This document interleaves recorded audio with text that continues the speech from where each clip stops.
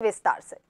प्रधानमंत्री नरेंद्र मोदी आर्टिकल 370 हटने के बाद पहली बार कश्मीर जा रहे हैं। गुरुवार को पीएम मोदी श्रीनगर में विकसित भारत, विकसित जम्मू कश्मीर के तहत चौसठ करोड़ रुपए से ज़्यादा के प्रोजेक्ट्स का इनोग्रेशन करेंगे।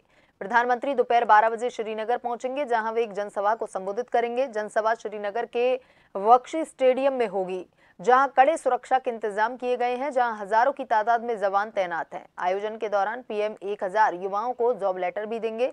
इसके बाद पीएम मोदी 2019 में कश्मीर गए थे, जहाँ उन्होंने लोकसभा चुनाव के लिए पार्टी का प्रचार किया था। केंद्र सरकार ने 5 अगस्त 2019 को अनुच्छेद 370 के प्रावधानों को निरस्त कर दिया था।